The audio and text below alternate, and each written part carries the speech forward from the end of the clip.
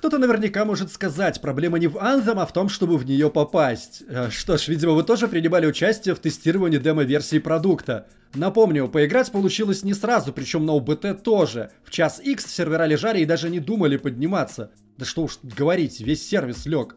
А когда все-таки поднялись, оказалось, что и на этом мучения не закончены. Игроки столкнулись с проблемой вечного загрузочного экрана, бесконечными вылетами и еще черт знает с чем. Но тогда разработчики нас уверили, мол, это просто старый билд такой, для релиза у нас есть свежачок, который работает как часики. Я дико извиняюсь, а почему в таком случае нельзя было сразу всех пустить в нормальную версию игры? Или это какой-то странный способ проверить уровень интереса аудитории к проекту? В любом случае нас такой подход не отпугнул, поэтому 15 февраля, как только заработал ранний доступ, мы в очередной раз кинулись покорять просторы Anthem. Меня зовут Мадлер, это портал Гохару, и мне кажется, мы разобрались, в чем главная проблема этой игры. Кстати, если вы пришли за детальным разбором каких-нибудь игровых механик, то чуть-чуть промахнулись. За этим всем вам лучше к нам на портал, там мистер Арганаки вас основательно во все посвятит. Здесь же мы скорее подведем некоторые промежуточные итоги в разрезе VIP демка OBT релиз и поговорим о главной проблеме проекта. Но для начала про старт. В отличие от демки и OBT, он, можно сказать, получился, то бишь сервера, естественно, легли,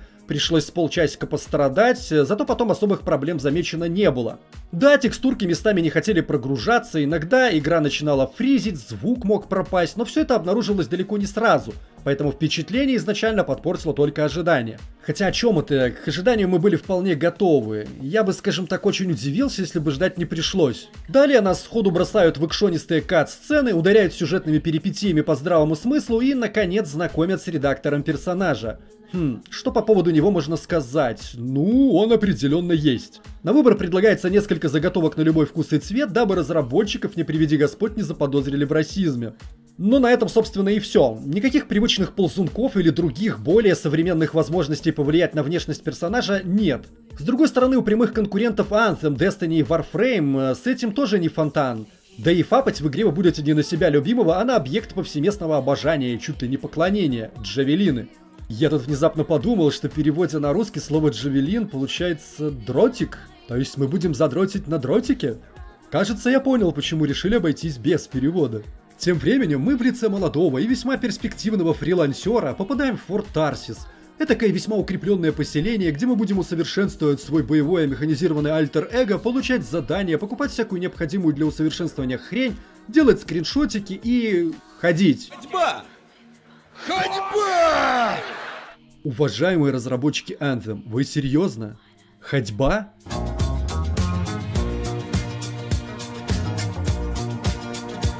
Ты пережил все тяготы вип-демки, продирался через ОБТ и лелеял надежду в конце концов сказать. Это невероятно! Но вместо этого хочется произнести... What the fuck is this? И это учитывая то, что в релизной версии разработчики, видимо, вынуждены были прогнуться под напором без сомнения токсичных геймеров и увеличить скорость передвижения персонажа по форту Тарсис. Теперь он почти бегает. Ну даже этого недостаточно. Заставлять игроков бесконечно ходить по стартовой локации, какой бы красивой и наполненной она ни была, плохая идея. Хотя и здесь не все в порядке, то есть Форт Тарсис красивый, спору нет. Как по мне, тут определенно вдохновлялись Цетусом из Warframe, и это очень хороший пример для подражания. Но в том же Цетусе, кроме вас, присутствует целая куча игроков и неписи, а в Форте Тарсис, напоминаю, придется бродить в одиночестве. Неписи только на первый взгляд могут составить хоть какую-то компанию. На самом деле, при ближайшем рассмотрении, а на то, чтобы присмотреться, у вас будет просто прорва времени. Все так называемые неигровые персонажи это заскриптованные низкопробные декорации, которые взаимодействуют с игроком от слова никак. Да они, в общем-то, и друг с другом не сильно взаимодействуют. Бывает, подойдешь к разговаривающей невдалеке парочке в поисках обычного человеческого тепла. Они, оказывается, и не разговаривают вовсе, просто жестикулируют, открывают рты, но беззвучно. Какое-то шоу Трумана для бедных, честное слово. И это на секундочку AAA проект, разрабатываемый, дай бог памяти, с 2014 года. Да и сам способ подачи информации какой-то странный. По идее, нас должны постепенно знакомить с лором игры так, чтобы мы сами того не замечая в него погрузились. Вместо этого игроку предлагают часами, я не преувеличиваю, ходить по стартовой локации от одного квестодателя к другому для длинных и пространных диалогов о том, как было, что будет и надо ли это вообще. В конечном счете, как бы вы ни хотели вникнуть в суть происходящего, все сведется к закликиванию кнопки Escape, пропустить диалог. У меня там, если что, Джавелин стоит раскочегаренный, мне бы в бой быстрее, а вы тут со своими разговорами. Кто-то скажет, так делай квесты сразу из стартовой зоны страйдера, в чем проблема?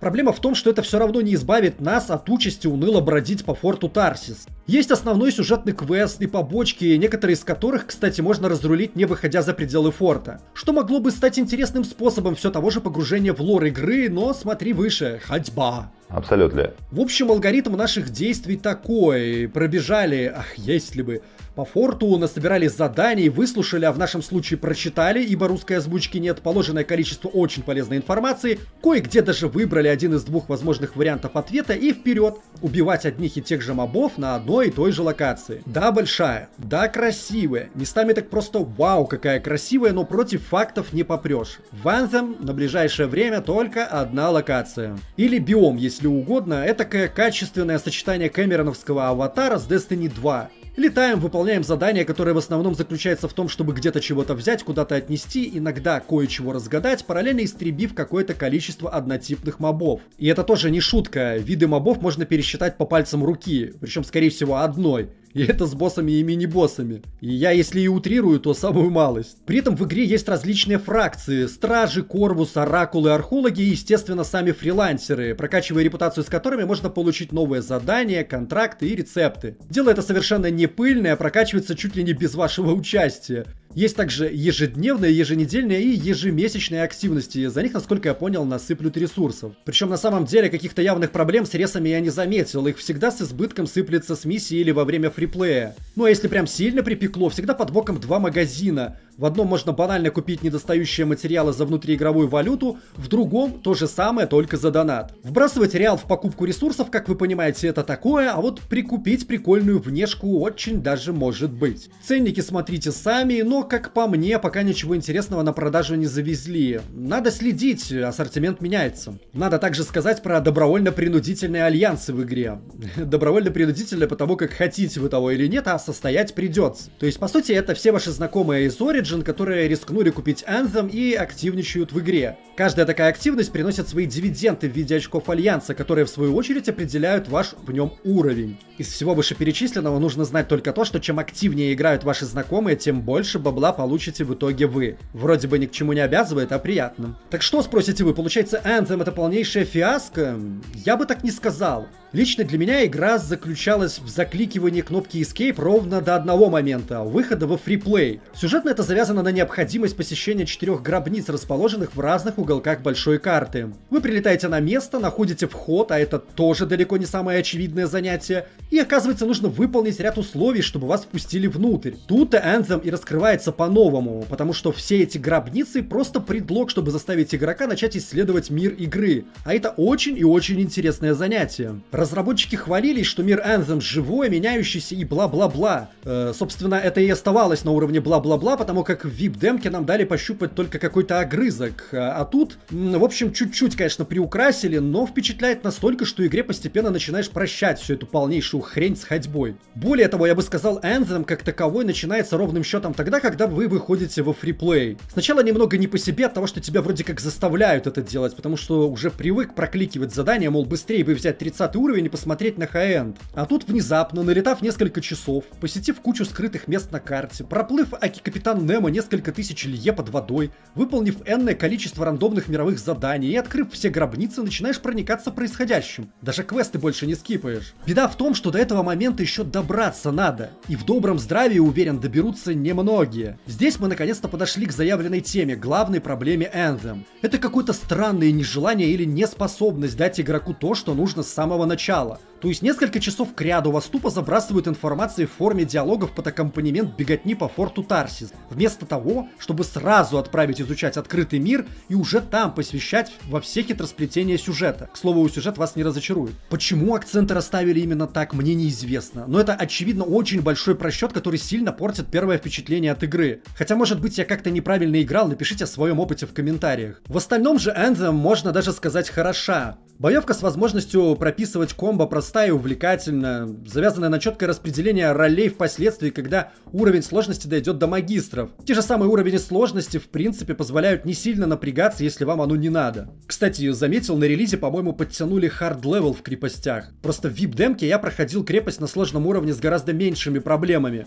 Или это мне просто с компаньонами так везло? Сможет ли игра составить достойную конкуренцию Warframe с Destiny 2, урвав свой кусок аудитории, пока непонятно. Это, я бы сказал, зависит от многих факторов. Но, как по мне, Warframe тут ложит всех на лопатки безоговорочно. Ибо там контента столько, что легко можно пропасть с головой и надолго. К тому же она бесплатная, и в отличие от большинства фри-то-плей проектов, на самом деле бесплатная, а не вот это все. Ну а на капе Anthem, очевидно, предстоит раз за разом проходить один и тот же контент, выбивая все более крутую экипировку для своего Джавелина. Не самое увлекательное занятие, понятное дело, но с другой стороны, а что, кто-то ожидал чего-то другого? Хотя с марта месяца в игре начнется первый акт, Echoes of Reality, который будет заключать в себе три основных обновления. Все бесплатно, разумеется. Первое коснется развития мира Anthem, сделав его более насыщенным на события. Второе привнесет в игру гильдии и списки лидеров, то есть сосредоточится на социальной составляющей. А третье катаклизм представит новый тип мировых событий, как несложно догадаться, одноименным. Пока о нем известно мало, разве только что вдохновлялись разработчики сезонными повествованиями Fortnite. Звучит интригующе, будем держать вас в курсе.